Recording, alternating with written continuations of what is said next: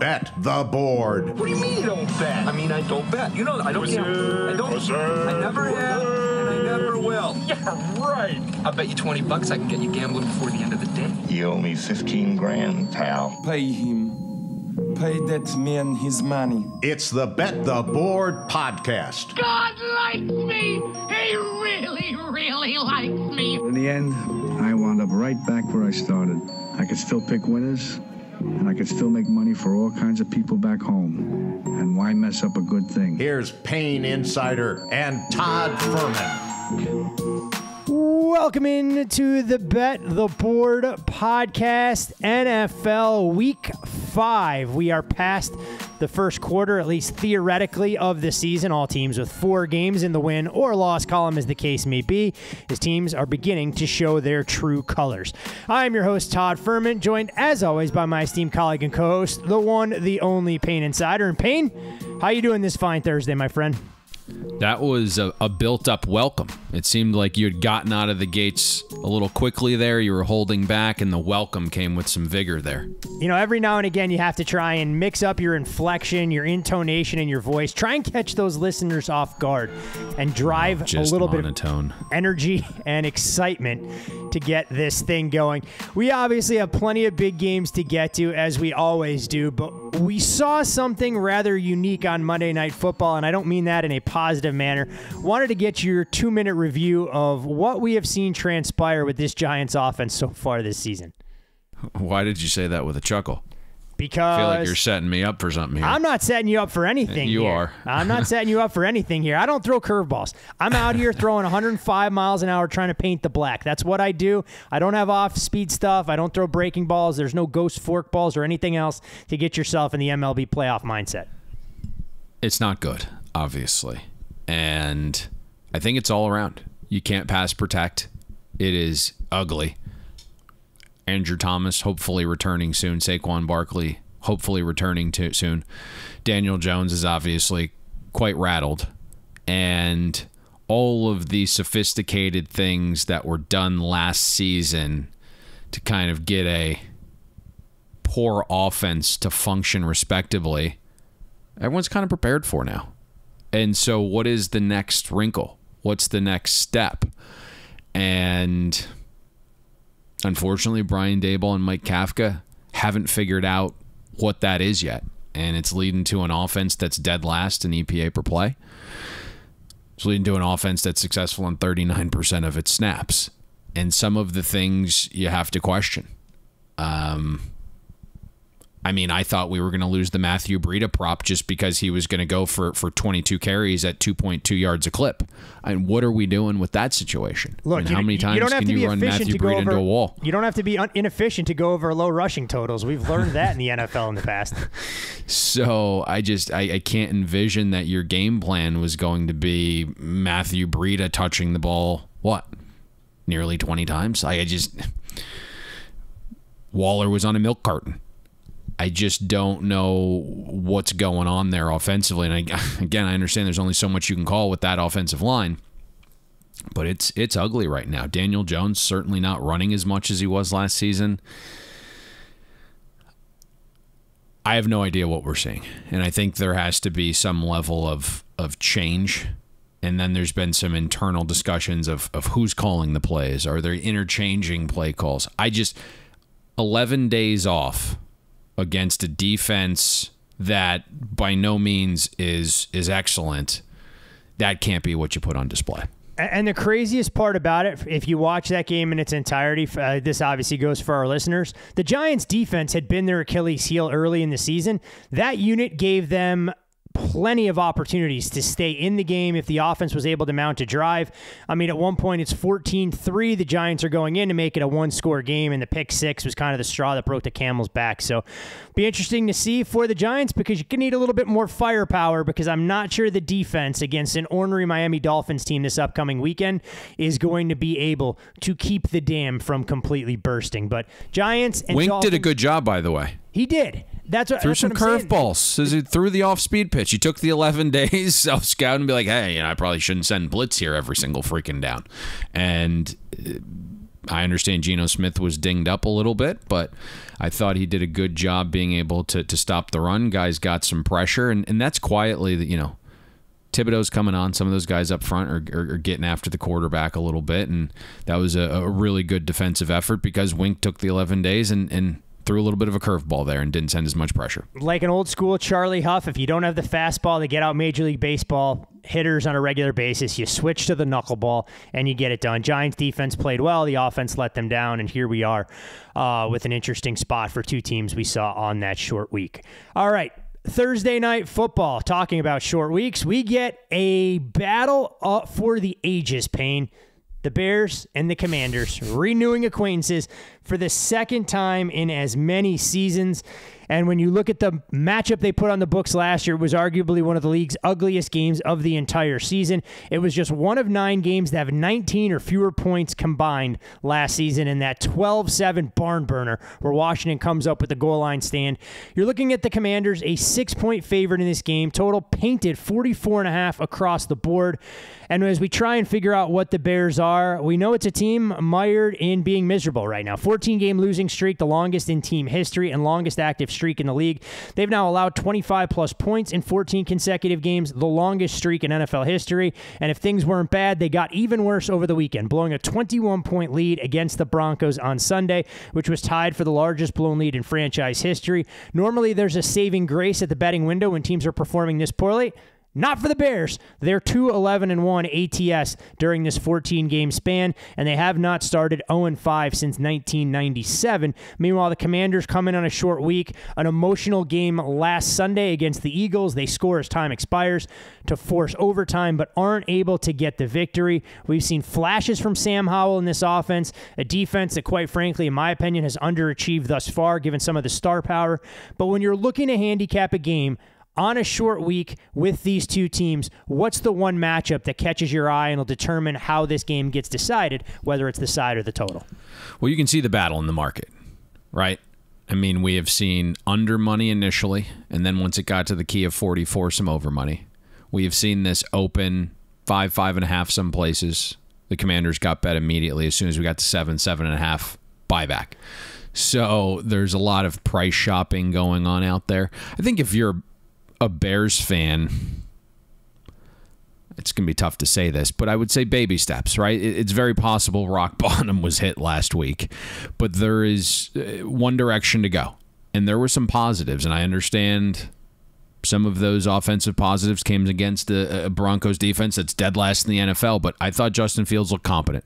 Still held on to the ball a little too long for me, but that was Justin Fields' best passing game of his career. If you look at his completion percentage, 18% over expectation. There were 39 quarterbacks that took a snap last week. Fields was seventh best in adjusted EPA per play. He got back to pushing the ball down the field. Nine completions of 10 plus air yards. That was the most of his career. And then you think about the offensive line a little bit here, Todd. Darnell Wright at, at right tackle continues to look pretty solid. Got Nate Davis back from a family matter looked serviceable last week. All signs are pointing towards the return of Teven Jenkins tonight. And I understand the Commanders' defense is, is certainly stepping down in class. They faced the second toughest schedule of offenses to date, and now you get the Bears a little bit of a, a reprieve. But the Commanders are middling in pressure rate, and you can hit some explosives on that Commander secondary. That's kind of where them not meeting expectations is mostly resided. Um, they're 24th in EPA per pass allowed, 23rd in defensive pass efficiency. So if you can give Justin Fields a little bit more time and he's back to pushing the ball a little bit further down the field with those receivers, you might be able to hit an explosive or two. But but ultimately, this comes down to price. And and again, anytime a seven or better has shown itself, the Bears get bought. And I know it's ugly and you probably would have hoped for a better injury report because the Bears, unfortunately, are without Eddie Jackson and Jaylon Johnson again tonight in the secondary. But I think the thesis here is is pretty simple, right? Like clearly the Bears haven't played to their preseason seven and a half win total projection, right? We can all say that. And clearly the Cardinals have exceeded expectation to this point. The command, the Commanders, well, you mean, not the Cardinals, right? No, no, no, no. Oh, listen, the Cardinals have exceeded expectation to this point, but within basically a span of seven, you know, four weeks, the Bears are catching almost the same seven at some point that Arizona was in the opener, right? And so, ah, good point. I, I, I'm I'm not sure laying points is the role you want for the Commanders, right? Especially with with the mindset of their head coach. Um, again, I go back to whoever nicknamed Ron Rivera Riverboat probably was was on some good shit. Um, and especially you think about what you mentioned at the top, right? Those high leverage plays in a division game that that ultimately went overtime against the Eagles last week, and now you're circling back on a short week.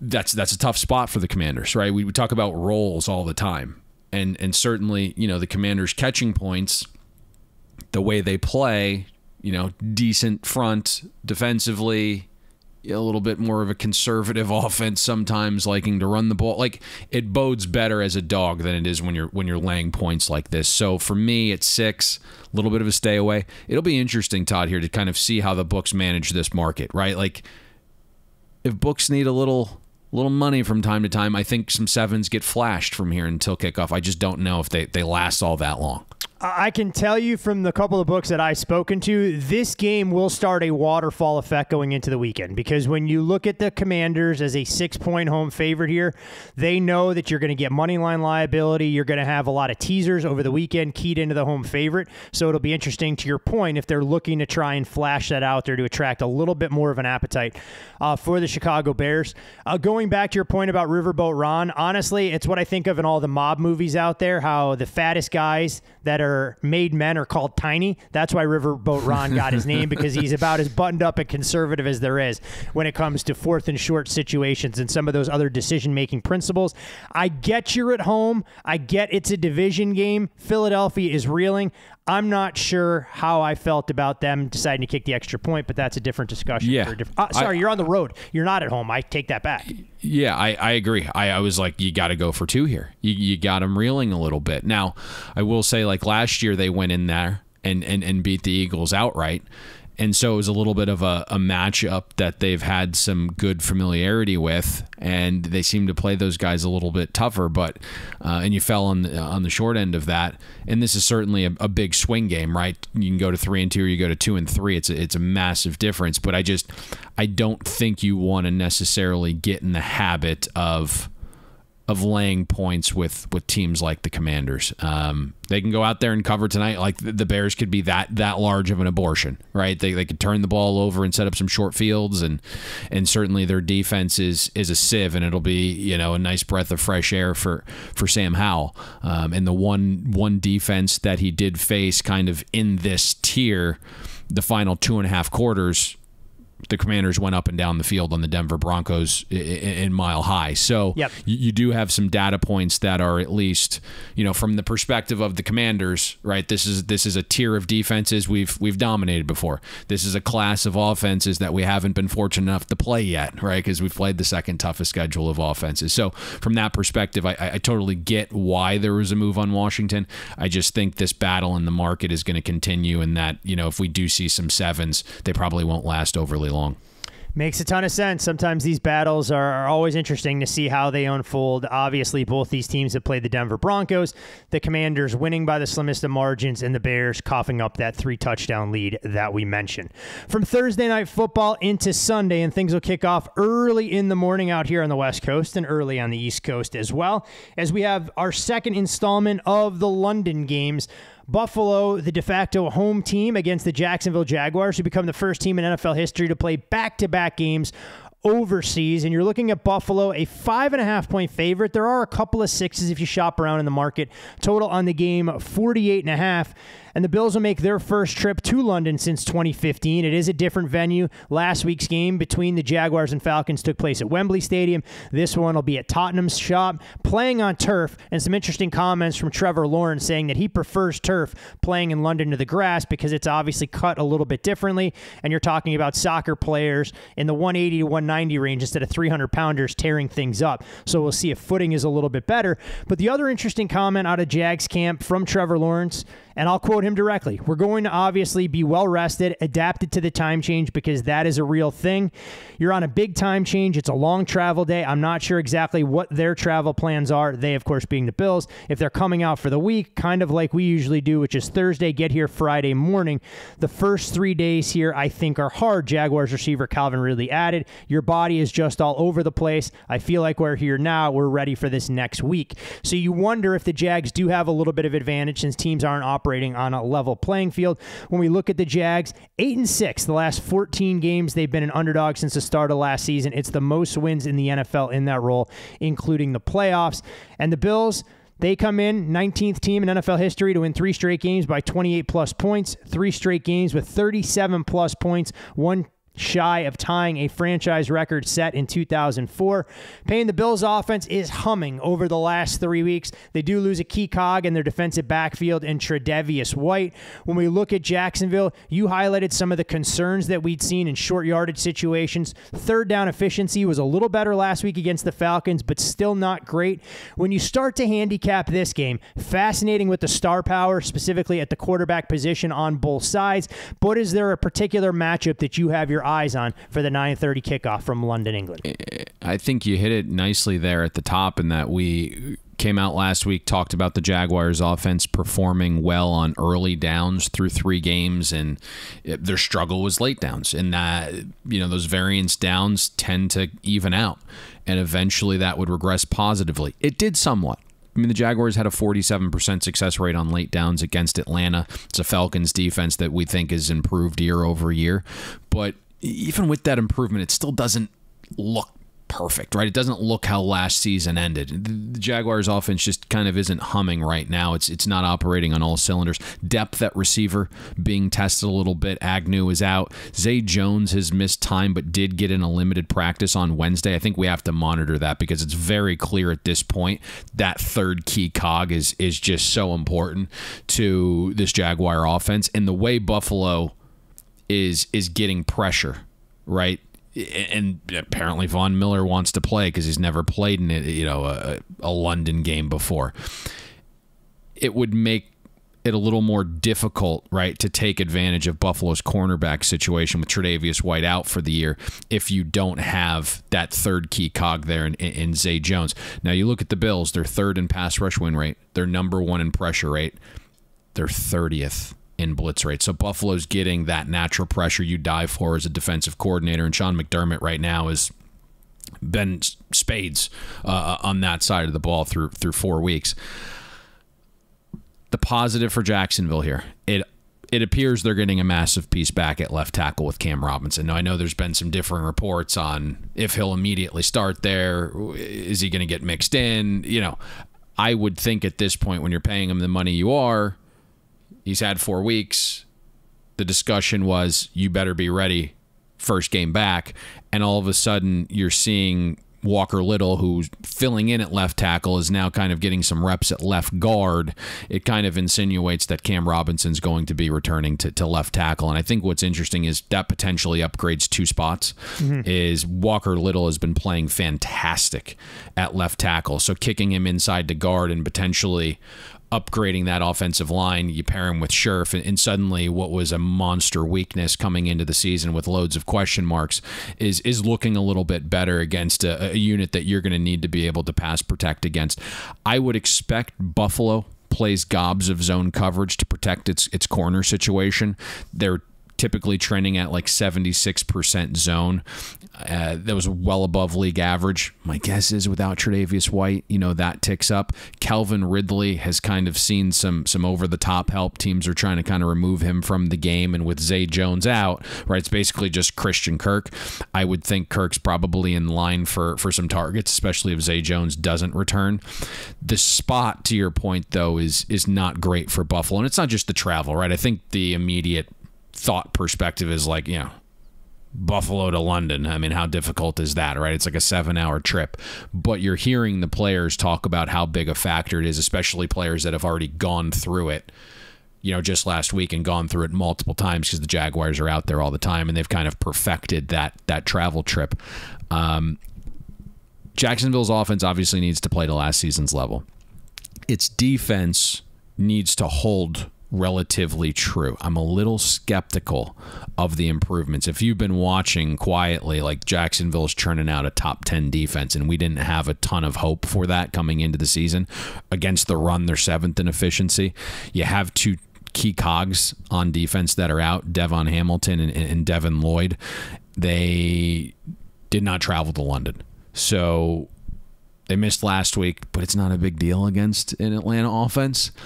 You wonder if that that becomes a little bit of an issue in this spot. So somehow, I think if you want to stay within the six here, and again, a little bit of a battle on this one, and I, I won't divulge too much, but obviously Billy, right, who's who joined us in, in week two, and and writes on the website, avid Buffalo guy, gets a ton of great intel there. He laid four at open. As soon as we got to six, there was some resistance. So again, like another game with a little bit of a, a battle and, and how you price in some of the travel situation and things of that nature. But I, I think not only do you need the Jacksonville offense to be a little bit better than we've seen so far, and your hope is that's the case with the offensive line help returning, but the defense has to play to to somewhat of a, a true level here as they step up in class. It's such an interesting spot as well. You don't want to say Buffalo gets caught overlooking Jacksonville in any capacity, knowing that they play in prime time next week, albeit against an inferior foe in the Giants. But you wonder what that Miami game did potentially take out of the tank. Buffalo going out there and doing that in dominant fashion, making a statement why the road to the AFC East continues to run through Western New York until further notice. But should be a, a fascinating game. And look, we used to joke all the time about these London games, knowing that we were going to have to watch the Jaguars in a standalone window when they were a completely irrelevant franchise. A much different dynamic in play these days with Trevor Lawrence at the helm than what we had seen in all of those previous seasons. You can. I mean, these are the these are the two favorites right now in their divisions. Yep. Still, no, it's a you know? it's a great game. So I mean, it's a good game. Think about all the times that we talked about, oh, well, we're going to get a game in London with two teams with losing records. I mean, I know the Jaguars are only 500, but they are still the favorite, to your point, to get out of the South, even with the Texans improve, the Colts and the Titans playing well. The Jags know their margin for error may not be as wide as they once thought. And if you want to be the best in a conference, these are the kind of games you have to go out there and compete and put your best foot forward. You can follow Payne on X at Payne Insider. I'm Todd Fuhrman. You can follow me there. Follow the podcast at Bet the Board Pod and subscribe to the Bet the Board podcast newsletter, absolutely free to your inbox every Friday during the fall. Uh, great information there, reminders about the things you may have missed, and most importantly, an additional positive expectation prop bet for the liquid markets that are available to try and get your money in good each and every weekend throughout the fall. Ravens Steelers Payne. This is a matchup that we see seemingly, well, we do see it seemingly every year and twice a season in the division, and they rarely disappoint, even if offense can be hard to come by. This is the 59th meeting all time between the Ravens and Steelers, including the playoffs. Pittsburgh owns a 33 25 edge, and the winner of this matchup will be in first place in the AFC North. Don't tell that to Steelers fans who had to suffer through multiple 23 plus point losses through the early going. The last six meetings between these teams have been decided by five points or fewer. It's tied for the fifth longest streak in any matchup in NFL history. They've played 22 games decided by five or fewer points since 2007, seven more than any other matchup. The Bears and Lions, the next closest at 15. But the days of seeing the home team favored by three and allowing sports bettors to just battle it out in the market have long since stopped. The Steelers lost 30 to 6 last week on the road at the Texans. It was their largest loss to a team with a losing record in 30 30 years. But when they lost 27 to nothing to the Rams on September 12th, 1993, game was so long ago, Jerome Bettis wasn't playing for the Steelers then. He was still a member of the Rams. The Ravens, they come into this contest fresh off a pasting of the Cleveland Browns. Their overall health seems to be trending in the right direction. Got some key cogs back at practice this week, both on the offensive and defensive side of the ball. From an offensive perspective, Lamar Jackson is playing his first game against the Steelers in 670 plus days. You look at Lamar Payne, and you talked about it in the preseason preview. He was going to benefit immensely with Todd Monken as the offensive coordinator. And what has Lamar Jackson done? He's put up the second highest completion percentage in the NFL this season at 74.3, a significant upgrade year over year. We saw two rushing touchdowns last week. We saw two passing touchdowns. Much to our chagrin, the most improbable touchdown pass of the entire weekend of Mark Andrews at the end of the first half, according to Next Gen Stats. But when you look at this Ravens offense against the Steelers defense, this is no more like a steel curtain. It's played a lot more like a vinyl shower curtain so far this season. you know, uh, this is one of those interesting games because you know, over the years, Pittsburgh's defense has done a really good job containing Lamar Jackson and frustrating him and turning him over. And if you're back in the Steelers this week, I've dug. Your only handicap is history. right? Because there aren't a ton of supportive metrics, and you're you're hoping the spot and the history prevails, and that Mike Tomlin has has rallied the troops, right? And all those pound the table changes he discussed this week. There really hasn't been any other than more physical practices. So I, I am interested to see what this looks like. Lamar has played 19 Put those teams pads in the NFL. on on Wednesday, Payne. It's going to make you Yeah. a better football team. Yep. Uh, yeah, old school. Um, you know, you look, Lamar's played 19 teams in the NFL two or more times. Pittsburgh's obviously one of those 19 teams in the division. And Lamar has the worst rating against Pittsburgh from that 19 team grouping. Two things to me are, are, are very true here. And you kind of hinted at one. This is far and away the weakest version of the Steelers' defense Lamar's faced. And this is the first time Pittsburgh's defense has faced Lamar Jackson with a wildly different scheme than what they've faced in the past. So if you look on early downs, the more predictive downs, Pittsburgh right now just 15th in EPA per play allowed. They're allowing 53% of passes on early downs to great successful. You mentioned some of those injured players returning to Ravens practice. Left tackle Ronnie Stanley has returned. Starting center Tyler Linderbaum returned last week, got his feet wet. Let's keep an eye on on right tackle Morgan Moses. You some of the pass catchers. Rashod Bateman practiced in full to start the week. OBJ returned in a limited fashion. I say that to say this because I think the biggest factor on this side of the ball is Lamar having time. Right now, the Steelers are only 21st in pass rush win rate, despite having you know an all-world edge rusher in T.J. Watt. Baltimore, I think, finds success offensively in a new scheme that is surely going to have a wrinkle or two that Todd Monken and Lamar Jackson have not unveiled yet. And if you look at the clean and pressure delta of both Lamar Jackson and the Pittsburgh Steelers defense, it is it is massive. Now, obviously, like when you go out there and say like, hey, like you know, pressure helps the defense. It's obvious, but when you start to kind of figure out how large that dichotomy is, um, it is really huge for both of these these teams. Right? When the Ravens keep Lamar Jackson comfortable, he's completing eighty three percent of his passes. He's got an eighty five percent adjusted accuracy rate from a clean pocket and a one twelve passer good. rating. Yeah, I mean, you're looking at the second and fourth best marks in the NFL. When the Steelers don't get pressure, they're bottom five in EPA per pass allowed, passing success rate allowed, passer rating allowed, and yards per attempt allowed. And so for me, Pittsburgh's defense has to somehow recreate the Monday night magic against the Browns where they forced multiple turnovers. That was a game where, you know, faced another mobile quarterback with the team that could run the ball a little bit and the Steelers gave up over 400 yards.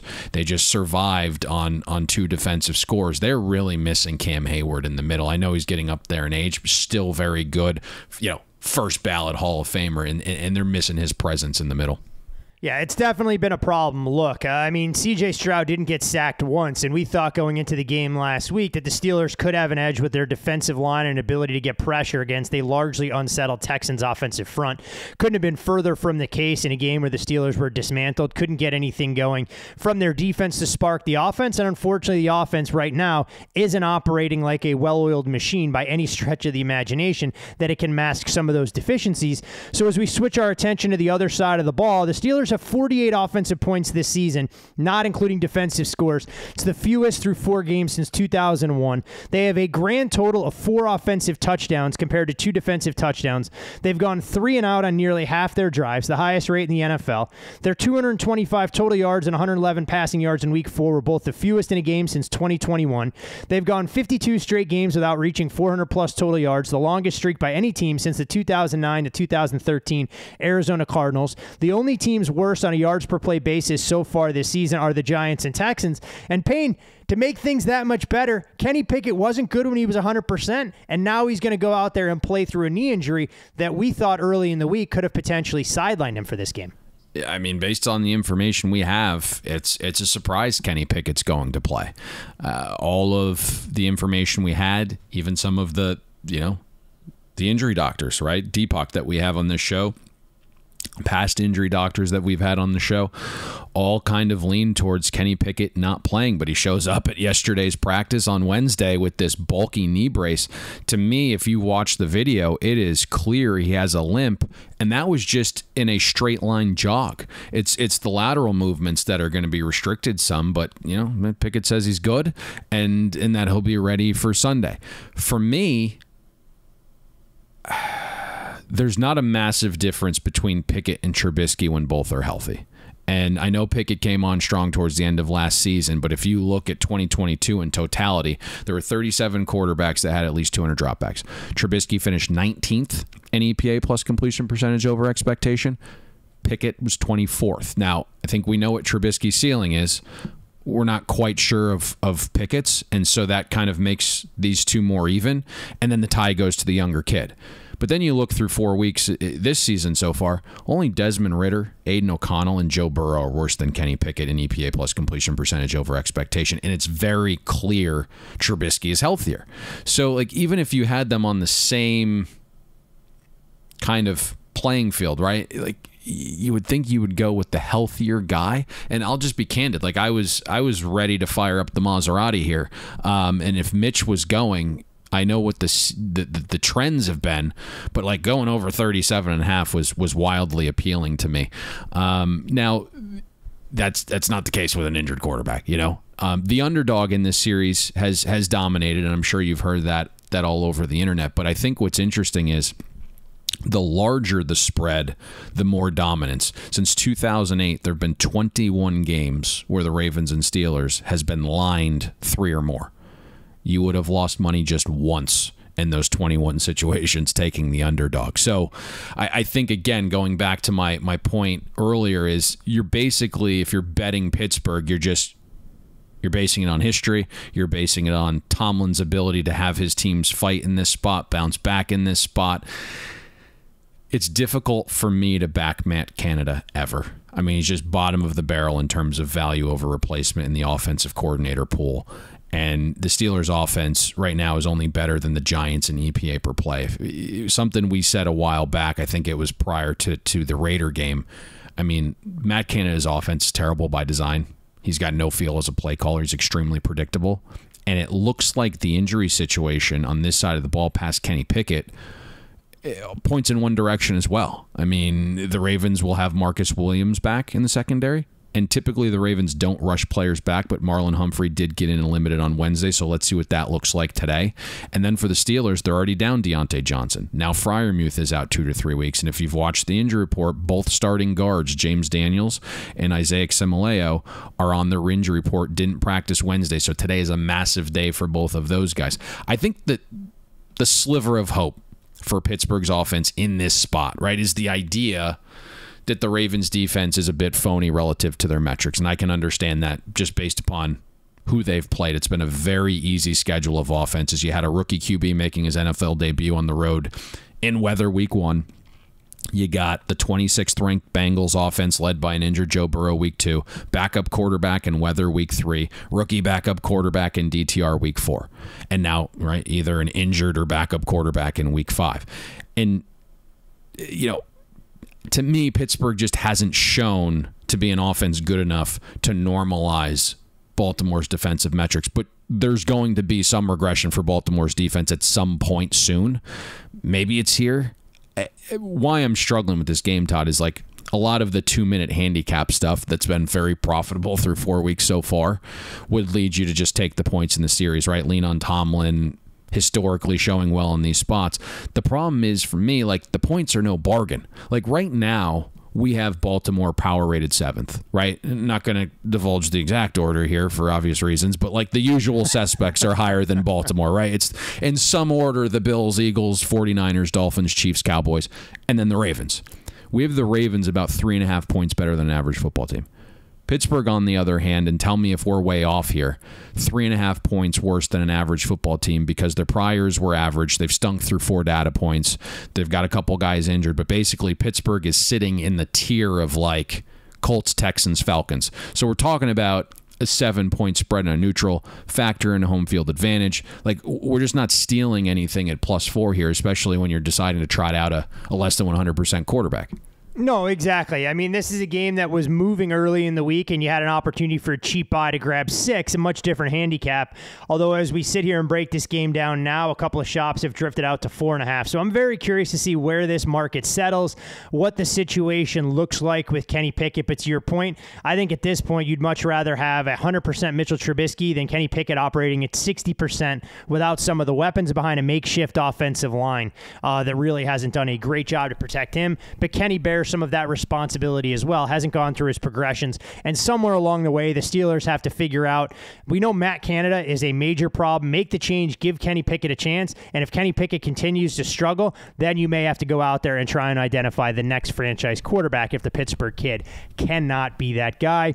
But to your point, history sides with Pittsburgh here and then bouncing back after embarrassment the previous week, whether it's hook by hook or by crook, special teams, defense, they find a way to manufacture points. They've just done it so many times in the past. Into the late afternoon with Philadelphia traveling across the country to take on the Rams. And when we look at this game, it's Philadelphia installed as a road favorite here, four and a half point chalk. This total's moved only one direction, opened as low as 46 and a half, 47. We're up a full field goal out to 50 and a half. Philadelphia can become the first Super Bowl loser since the Bills back in 1991 to start 5 0 the following season. They're 11 and 1 in their last 12 road games. The only loss over that span came in Dallas when it was Gardner Minshew under center, knowing that Jalen Hurts was dealing with an injury. Meanwhile, on the flip side, when we look at Matthew Stafford and the Rams team, Stafford's been excellent to start, but odds makers seem to have a pretty good grasp on when Stafford will play well versus when he'll struggle. Just 1 in 10 straight up, 3 7 and 1 ATS in the last 11 games he started as a home underdog. Payne, this game is fascinating for a variety of reasons because when we look at Philadelphia, we had concerns about how this team would look replacing coordinators. Early on in the year, Brian Johnson has hasn't quite allowed this offer, offense to operate with the same ruthless efficiency we saw with Shane Steichen. We know the competition was going to get better, but I think what's getting overlooked as well is what we're not seeing from this team defensively. Jonathan Gannon getting Arizona to play their balls off every single week, and the Eagles aren't generating pressure at the same rate. We know the secondary is down a couple of guys, most notably at the slot corner position, but they're giving up chunk passing yards. And last week against Washington, they couldn't get off the field on third and intermediate situations.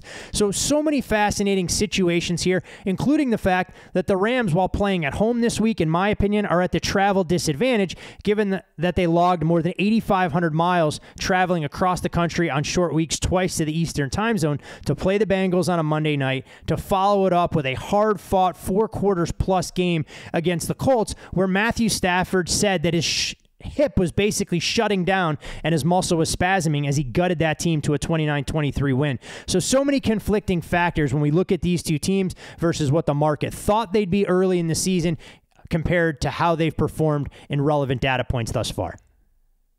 This to me might be the most interesting game of the entire weekend just based upon everything you're seeing in the market, you're hearing from betters, a little bit of a battle here and the conflicting ideas of of what these two teams are. And I think you know, you can cherry pick a metric or two that makes you feel good about the Rams defense. And, and you know, no doubt, I think Raheem Morris has done a nice job early in the season being creative. Guys are playing extremely hard. But there's like only so much you can do schematically. And trying hard should be the standard. And for me, like there's just not a lot of talent on the Rams defense past Aaron Donald. So, you know, for as much as the Rams defense has maybe exceeded early season expectations in a few categories, they're still 24th in schedule adjusted efficiency, 28th in early down EPA allowed, which is the the really predictive metric. And I, you know, I think you hit it perfect with Brian Johnson. I think we kind of all are, are cognizant that the Eagles offense hasn't looked perfect. It's just not in that that fine rhythm. Johnson's kind of still finding his vibe as a play caller, right? How to kind of stagger plays, how to set up a play in the first quarter that you come back to in the third quarter. All of those things aren't aren't perfect. Um, and, and and I think what's interesting here is, you know, if you are a a multi-step level thinker, you're going to maybe gravitate towards the familiarity factor where just last week Raheem Morris and the Rams were able to face a Shane Steichen offense and a mobile quarterback and hold them to zero for two and a half quarters. And then this week, the Rams get Shane Steichen's old offense and his old mobile quarterback. And I think that's causing some of this sharp money in the market. The other side of the coin is the Eagles and Jalen Hurts are now going to know how to counter everything Raheem Morris did to stifle the Colts offense early. And and once that cat's out of the bag, you know, hey, when we're in this formation, this is what the Colts did last week against this exact formation. Now all of a sudden we have a week to figure out the counter to that. It, it, I don't know if that's quite a thing, right? And you know, my point in bringing that up is like for this game to follow the shape of the betting market, which from Sunday night until we record this at you know 7 a.m. Vegas time, it's it's Rams and over right? Market open Ram 6, we're as low as 4 now. Market opened as low as 46 and a half on the total. Peak right now 51. For those two moves to unfold, it comes down to Sean McVay, Matthew Stafford, and the Rams offense to me. And yes, like Stafford looks really good. And Puka and Tutu are playing awesome. The Rams are hovering around being a top 10 offense in schedule adjusted efficiency, and now Cooper Kupp potentially returns. Let's see if that actually unfolds. Kupp got a limited practice in Wednesday. I assume the goal is to ramp him up later today to see how the hamstring responds Friday. And if all is well, then you'll probably see him out there. But there is this narrative, and to some extent it's true, right, that the Eagles defense can't stop the pass. And and listen, this is, this is coming from a guy who told you the Eagles defense would regress this offseason. But you look through four data points. If you remove garbage time, which is typically where the Vikings feast, and that is a team the Eagles played. The Eagles defense is fifth in drop back EPA allowed. When you adjust for schedule, it's a middling pass defense in terms of efficiency. And and Philly is absolutely susceptible over the middle with backup linebackers. I know Nakobe Dean returned to some practice. He's working out on the sidelines. I don't think he's out there this week. And then you have a brand new batch of safeties, some question marks with your slot corner. So Philly is giving up basically over half an expected point anytime they face a pass over the middle of the field, and they've given up a 55% success rate. So there is this path for the Rams offense. But it's the counting stats that make the Eagles' pass defense look worse than it is. But they're facing a ton of volume, right? The Eagles are basically a pass funnel defense. They've faced the second most pass attempts on average per game this season. And so for me, like really the biggest question to the Rams' success is exactly what you hit at the top. It's Matthew Stafford. He played Monday night against the Bengals. Got the ever living shit kicked out of him. He was pressured on 50% of his dropbacks. He was sacked six times. The Rams decided to travel back to LA and then to Indianapolis and that was a tough game for Stafford. He came out and said after the game that his leg was shutting down, that he couldn't step and push off because of the hip injury. Incredible. McVay comments. was asked about it. Incredible right? comments. McVay was asked and said Stafford should be good. Right now, it looks like Stafford is, and we joked off air, is like being held together by by double bubble and like a fueled used rubber bands from the back of, of the desk drawer in your office. This game is 100% on the Rams passing game. So the question to me is like, can Matthew Stafford survive the game? And it looks like left tackle Alaric Jackson is trending towards not playing again. The Eagles might not be accumulating the sacks, but they're eighth in pass rush win rate. They're top five in pressure rate. I, I'm just not sure Stafford survives. We'll see. And like I understand the Rams move with how the Eagles have played, with the perceived matchups on paper. I'm just starting to get that Eagles Buccaneers vibe from Monday Night Football all over again. And the same guys and groups that that bet the Buccaneers in that spot are the same guys feeding me the information again this week, and I'm just like, eh. and and you kind of see anytime this gets to like four again, very much the same sentiment as that Bucks game. You start to see a little Eagles money into the market. I was hoping for three minus 20, like I may or may not have been promised, but I don't think the market is going to get there in any capacity for Philadelphia. But I think all the points that you bring up, you know, talking about the Eagles and how people fall in love with counting stats above all else, you have to put them in a little bit of context. The other thing, when we look at Philadelphia, and you talked about the Rams having one truly plus plus elite defender in Aaron Donald, Philadelphia still has a pretty good offensive line that may have something to say about Aaron Donald disrupting things, giving Jalen Hurts time to operate from the pocket or using that quarterback run game to force Donald to defend the run and take him away from the pass rush. Speaking of somebody, battles, somebody said, by the way, enough is enough. yeah. Speaking of speaking of battles in 465, 466, it has been entertaining to watch. And you talk about fascinating games for all the wrong reasons. This one has all the makings of a car crash. We're not going to break down, but I will be watching to see exactly who wins that battle between the Bengals and Cardinals. Uh, into some, some game, steam there at two and a half. That was like, no, not anymore. No We soup for you. two and a half is just ridiculous. When the look ahead was eight, someone finally dove in. Uh, we are now back to back to three on the Bengals. Very interesting game. All right, a game that everybody will be watching on Sunday Night Football, though, a, a battle of titans in the NFC, and a game that could go a long way in determining who may ultimately be the number one seed in this conference, getting a bye early on in the postseason. That, of course, taking place in the Bay Area between the Dallas Cowboys and the San Francisco 49ers. It's the Niners painted We'll call it a 3.75 using the Asian handicap here. There are plenty of fours out there if you like the dog, plenty of three and a halfs out there if you happen to like the favorite. Total 45. There are a couple of 45 and a halfs as well. The 49ers have beaten the Cowboys in the playoffs each of the last two seasons 19 to 12 last year in Brock Purdy's start, and 23 17. But when Dak Prescott forgot how much time was left on the clock down there in Jerry's world, the 49ers can become the fifth team in the Super Bowl era to start 5 0 with 30 points in each game. All four teams to accomplish this feat previously did not win the Super Bowl. Meanwhile, the Cowboys have two of the largest wins in the NFL this season by 40 at the Giants in week one, a 35 point victory last week against New England. And when we look at the Cowboys, for all the criticism that this team has had, they've actually been good when they're catching points under Mike McCarthy. 8 and 8 straight up, but 10 and 6 ATS going back to the 2020 season. Tied for third best straight up underdog record during that span. The Cowboys have also done well when the lights are at their brightest. 10 and 2 ATS in primetime games since 2021, but they'll be walking into a juggernaut in their own right. The 49ers have been great in their own building. 13 and 2 ATS the last 15 games that they have played in Santa Clara. Payne, this game is fascinating on both sides.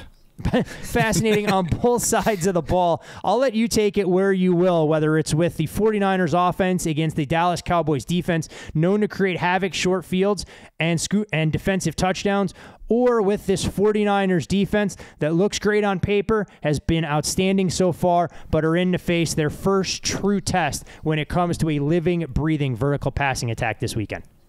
Biggest game of the week, the litmus test for both NFC contenders. We get it Sunday night in prime time, so we're going to deep dive the game, both sides. I, let's just start with the Cowboys' offense, and and you know we've talked about it not looking perfect. I don't love all of the short passes, and, and that's a little bit concerning. Only Bryce Young has a lower intended air yard average than Dak Prescott, and Dak is also QB 28 out of 35 qualifiers in the amount of 20 plus yard throws at just 8%. Maybe we see a little bit of a tiny bump as, as Brandin Cooks gets healthier, the offensive line gets healthier, but I think it's time to, to open some things up. The Cowboys' red zone issues. That becomes front page news right now, it seems. Everyone's talking about it this week. If you look and dig into this, Dallas has run a league high 85 snaps inside their opponent 20. That's a real positive. That's 31 more plays than the team with the second most red zone snaps. Unfortunately, the Cowboys are 30th in touchdown rate.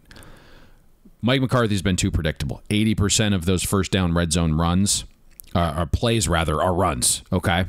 And it also looks like Dallas is is missing Dalton Schultz in the red zone a little bit because they're using far less two tight end sets. And then one of the things in recent years, especially if you've watched Buffalo or the Giants, right? Brian Daboll specifically, unlocking the quarterback runs in the red zone. It's a huge help to efficiency. And I think you get Dak's legs moving a little bit there.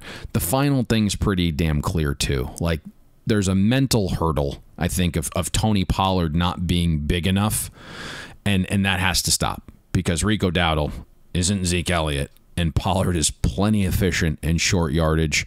And, and Dowdle is not. So hopefully we see some of those changes Uh, the Cowboys analytics department has been delivered the goods to unlock that red zone efficiency this week. Let's see if they actually use it. The positive, I think, for the Cowboys offense in general, the underlying metrics have been better than the surface level ones. Aside from the Arizona game, Dallas has basically lived in garbage time.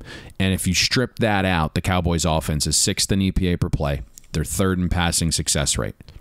It's actually the inverse for the 49ers defense. And if you go back to our, our preseason preview, it was a unit that we thought would regress some based upon the report I was given before the start of the season that, that we shared. The 49ers have not been able to stop the run. 28th in EPA per rush allowed in non garbage time. The 49ers have also faced the sixth easiest schedule of offenses. Josh Dobbs was able to find success through the air, 49% success rate last week. EPA would have been substantially higher if not for three drops, two of them which were were in the end zone. But I, still, Arizona's offense found some holes in the 49ers secondary. Again, one of those reports that I got was, hey, we really think only like one of our corners can truly cover. And so, you know, we'll see. It, it, looks like the Cowboys offense is getting healthier along the offensive line. I think it's trending towards the starting five playing together for the first time all season. The one guy that can cover for the 49ers at corner is Charvarius Ward. He's dealing with a lingering heel issue. You can tell it's not allowing him to play to peak missed practice on Wednesday. I think he goes out there and battles. Dre Greenlaw battling a lingering ankle injury from before the season. Let's see how effective he is as well. So I think there's some some spots here for the Cowboys offense to to have some success.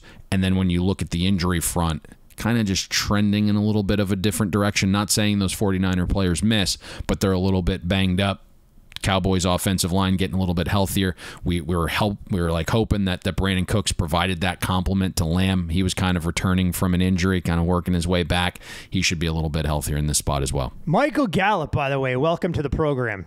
Back to back 60 plus yard games. He apparently was the one that was spurred on by the Cowboys bringing in Brandin Cooks is emerging as the number two. So we'll see. Maybe Cooks can uh, slot as that three and give them a couple of very useful components. As we know, Cooks has produced everywhere he's been.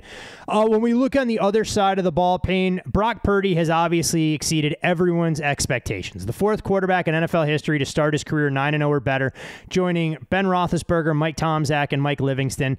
Uh, when we look at what he's been able to accomplish, he's got the second highest passer rating in his first nine career starts all time behind a Hall of Famer Kurt Warner.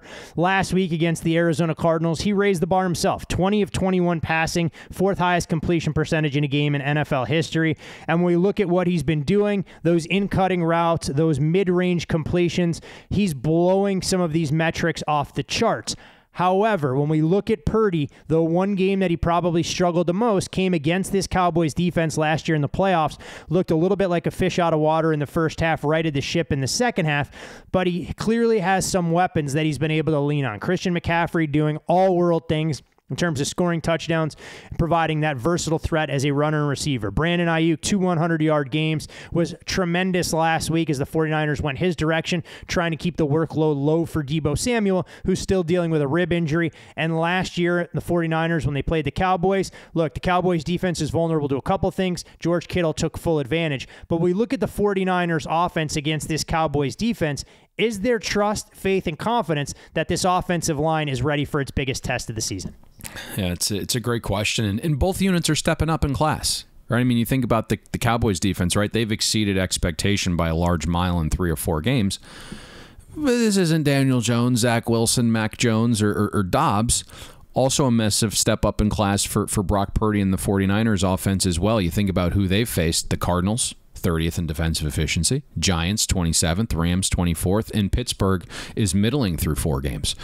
Uh, I think we did have questions coming into the season about the 49ers offensive line.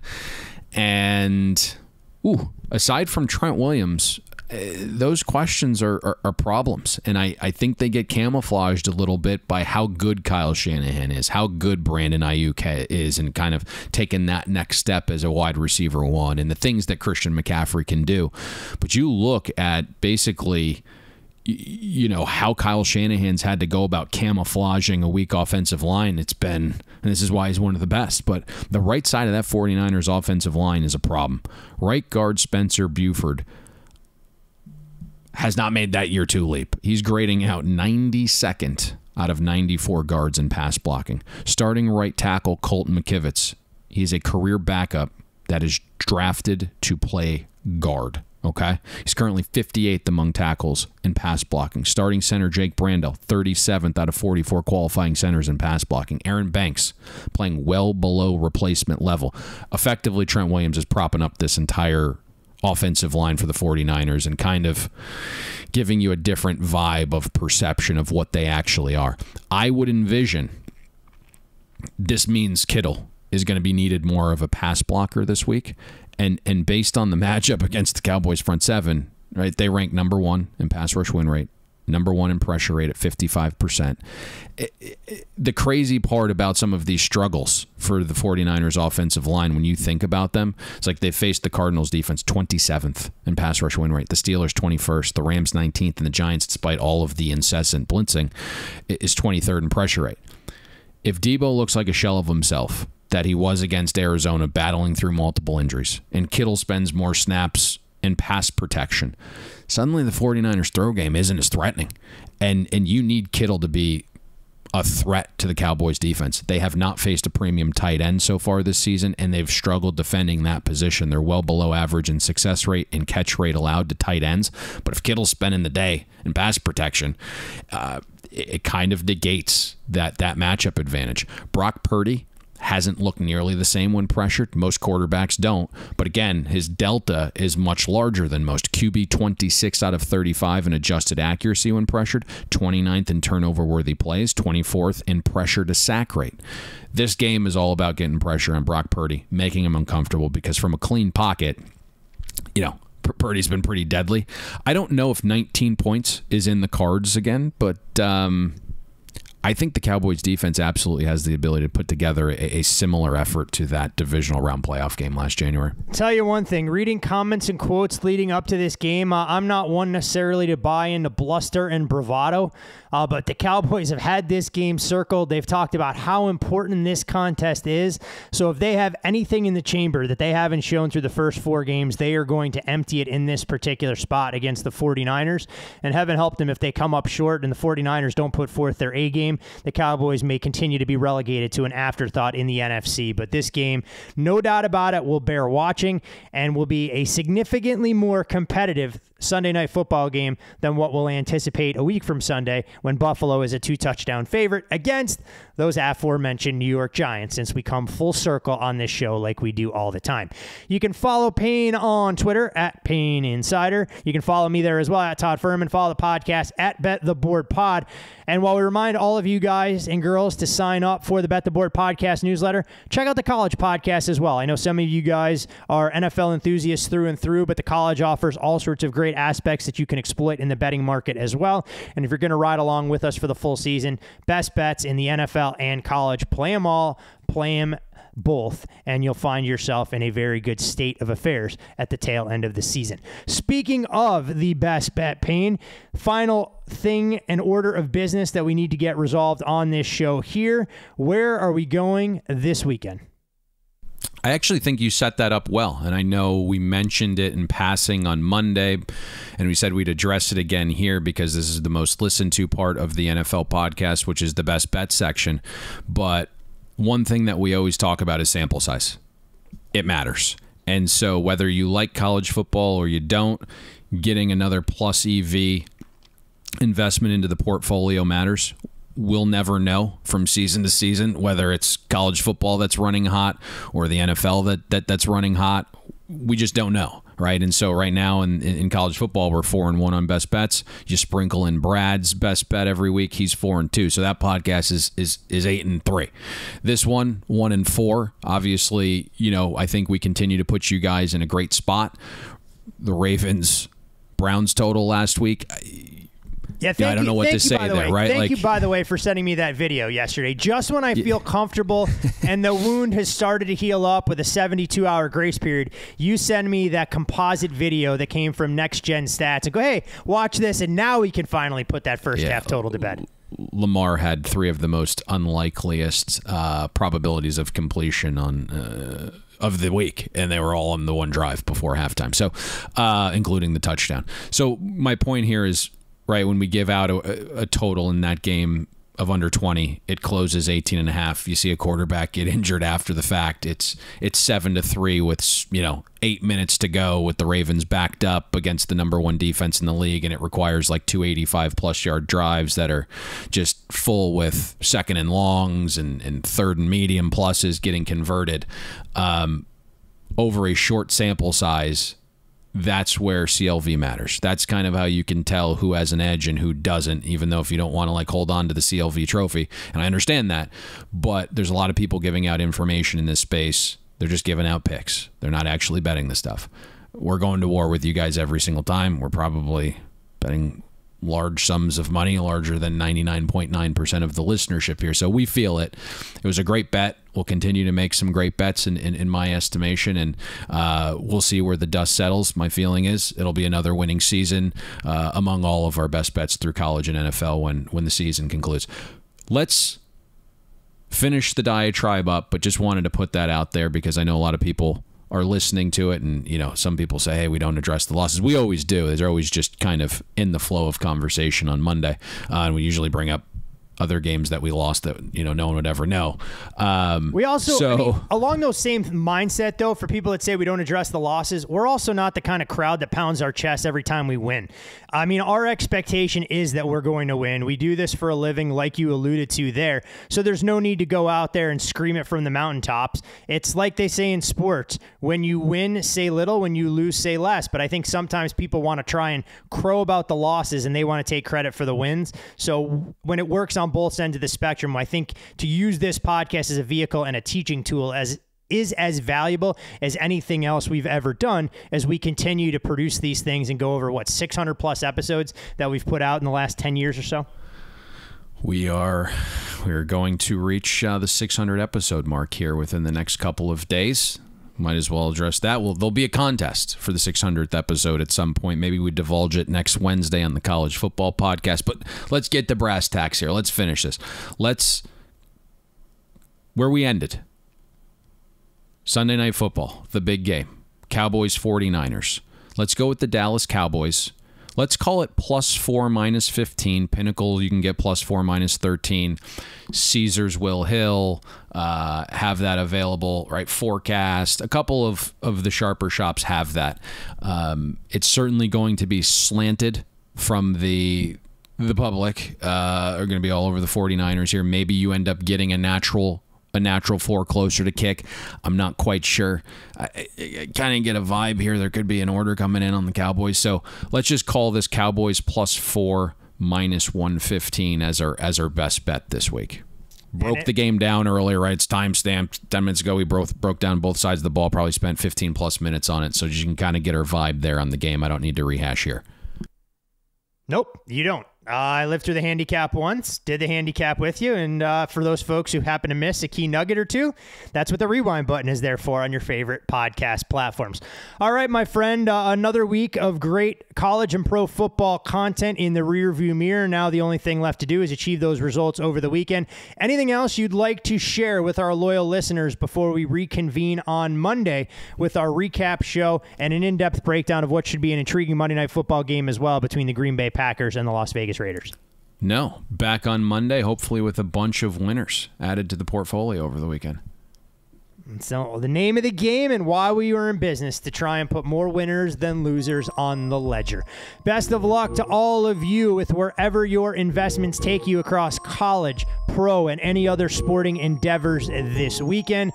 Come Sunday evening with a Dallas Cowboys plus four ticket in hand. We'll see you at the window. We hope you enjoyed listening to this episode of Bet the Board.